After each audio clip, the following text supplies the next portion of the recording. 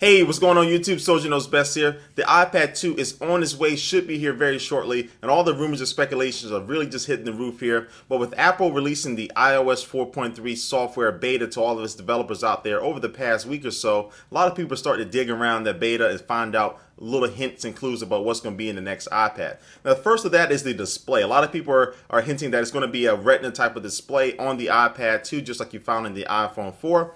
And a lot of people are kind of kind of torn between the two. Now, there have been signs of people thinking that it's going to be a 2048 by 1536 display on the iPad 2, which will be amazing.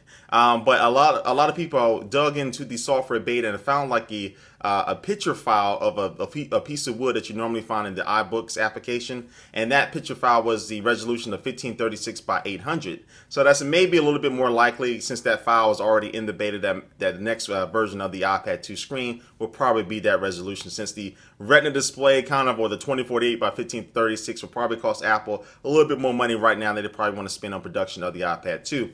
And also some more about the hardware. It's uh, very rumored that the, app, the iPad 2 is going to have a dual core processor inside of that bad boy, which will really beast up the processing, help for faster, better looking games, and just overall performance of the OS itself. And I think that is very, very much true. Now, there have been some leak cases uh, from manufacturers showing the iPad uh, potentially having an SD card slot and also having a bigger uh, speaker, a, speaker which will be very much welcome on the iPad 2 that actually extends a little bit to the back of the iPad, provide a richer sound, and also a possible mini display port up, up at the top, and also a front and rear camera. Uh, now, speaking of the cameras, in the software for the iOS 4.3 beta that went out, there was uh, people found out that there actually were the icons and everything for FaceTime, photo booth, and a camera application in the 4.3 software uh, for the iPad, and actually had a little picture of those icons as well.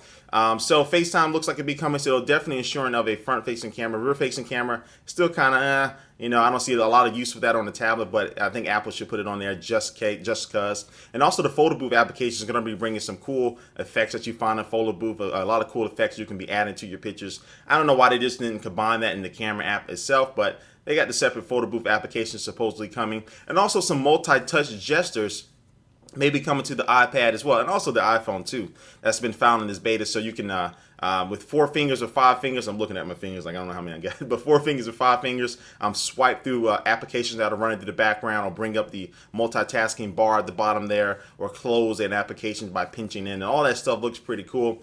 But Apple did say that uh, that is not going to be coming in the next 4.3 update, so.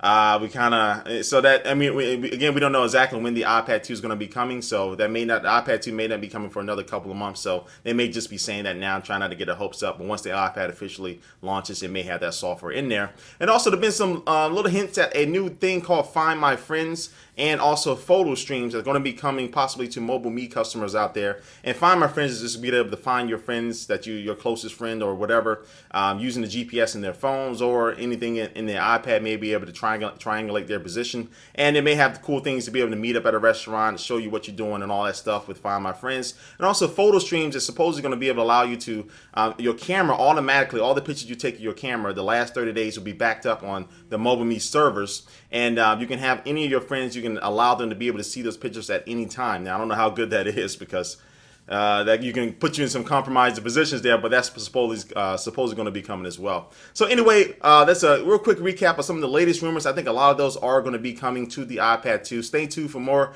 for news, and uh, especially when the iPad 2 launches, I'll have more details about that. And thanks for watching this video, guys, and I will catch you later. Peace. And also leave all your comments about what you may think would be in the next iPad 2 down below. All right, peace out for real this time.